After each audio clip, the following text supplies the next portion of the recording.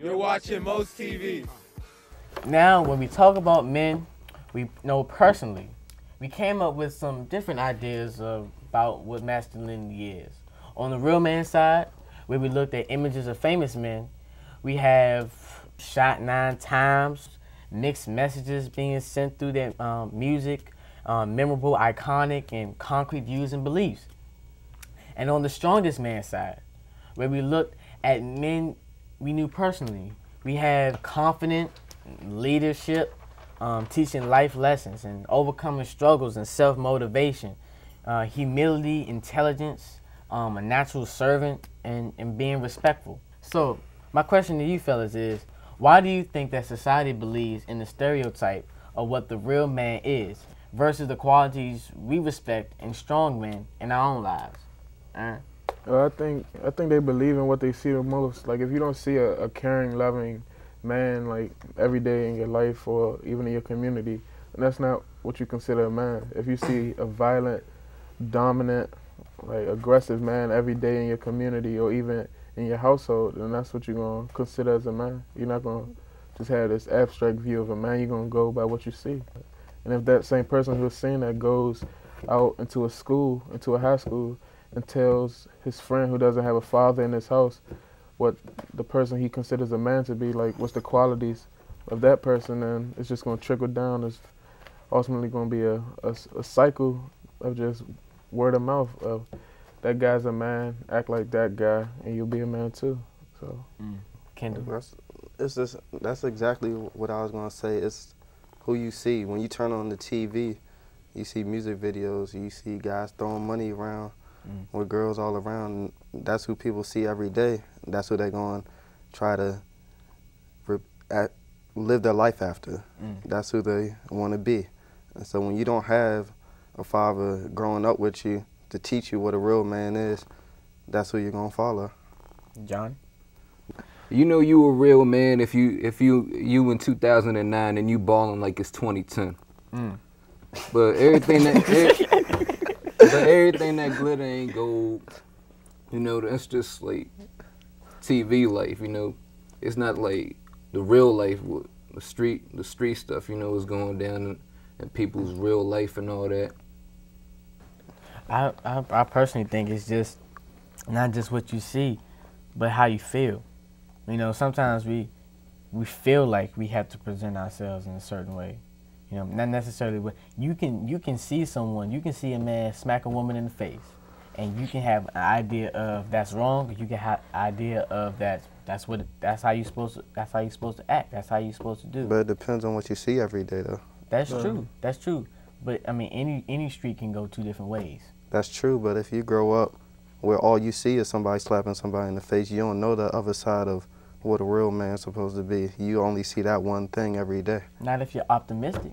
If you not if you're optimistic, if you see on, on television that or, or, you, your your favorite um your favorite rap artist, let's say your favorite rap artist says it's wrong to um to hurt women, it's wrong to um um, um sexually abuse women and things like that, and you see um in, in your life that that's all you see, you can it's up to you to then make the determination of is it wrong or is it right at the end of the day is what you con- is what you believe in not necessarily always what you see I think uh, it's not like the way we live our life. It's not always like what you believe in. Like you can't live your your whole day by just stuff you believe in, or like the world will be like straight chaos. Cause like like it's a it's a it's a universal rule for men not to cry. So if, if like if something affects you to the point where you want to show that emotion, like you want to cry, and you like around you're in a crowd, you're not gonna bust out crying in the crowd. You're gonna find the nearest bathroom,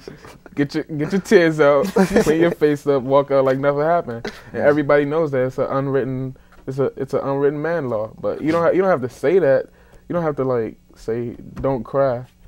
But again, you you have to have another avenue of expressing your feelings. Because if you hold in that cry one time, it might be holding holding in a sorry another time, or Mm. holding in a I love you another time. Mm. And then when you're holding that in, what else are you giving out but negativity? So if you if you have another way of expressing yourself, then that's another way of being a being a strong man overall.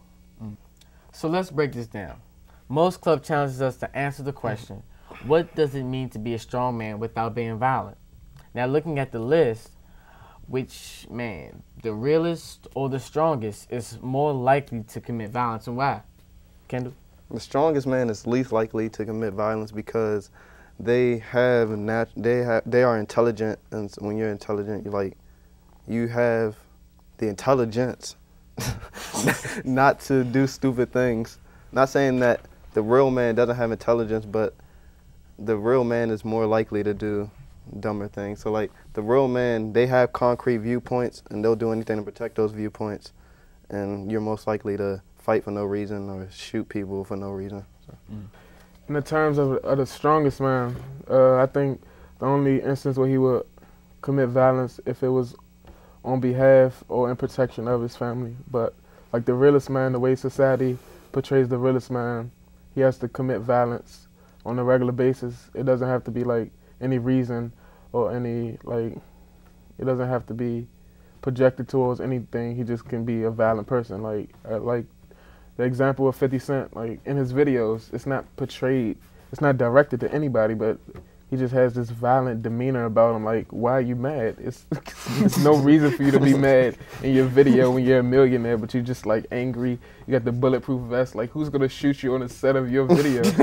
I mean, if you if you are around dudes that's like that's gonna shoot you on your own video set, then that's the that's the wrong people to be hanging out with. Like, if you don't if you don't feel comfortable, if you're not protected around your own people, then then hey, that's a problem that you need to address with them. But yeah, like some people are just violent just because they think it's cool, but it's it's always a different way to express yourself. The realer man has more to prove, you know. Like simple stuff like his friends might push him into stuff and he's gonna be forced into uh, doing whatever situ whatever he's in, like what type of situation he's in. Like he he's pressured into doing it, cause like if he backs off, he's gonna look like yeah, he gonna look weak. So you don't want to do that if you're in the realer category. I think that uh, I think that the the realest man is more likely to commit violence because he sends those mixed messages of, uh, on one minute you got to be this, but then next minute you got to make a, a 80 deg- uh, 180 degree turn and do this. And I think that not only does that you know commit, you know, concrete violence, physical violence, but I think it, it, also commits abstract violence. And, and messing up with, with emotions and mindsets and things like that. Uh, I, I agree with everybody, what everybody said, but I think the the realest man is uh is putting a facade forward that he has to he has to constantly support. Because if somebody sees him without that mask on, then all his status, all his power, all his all his money, all his women is gone. Because they fi- they find out in actuality that you're not the person who you say you were. You're not that big shot who had all the ladies and all the cars. And like, it's really no reason why you should be getting our attention because you was just faking for society and try to live up to standards that, like, honestly, no one can achieve. So the the realest man, like, if he's pushed into a corner, his only option is violence. But the stronger man, the the strong man, he has those those values, those beliefs to fall back on, or to like refer to in like situations, tumultuous situations where he might have to like sit back and think a little bit. But that's not the that's not the case for the for the real man, the quote unquote real man. Mm. Okay. Well, we're to have to wrap this up. At most club, we see the stereotype of masculinity is more about having power over people, while the strongest man, men we all know, uses his strength to inspire us. Tell us what you think at www.mencanstoprape.org or the Men of Strength Facebook page.